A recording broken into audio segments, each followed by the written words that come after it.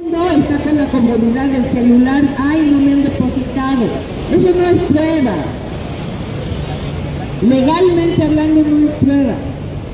O bien van al cajero y sacan el papelito. Tampoco es prueba.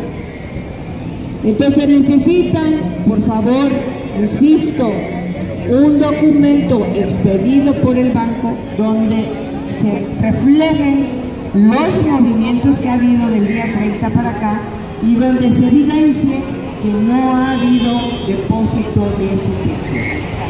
Por favor, a todos y a todas les pido este, que atiendan este asunto.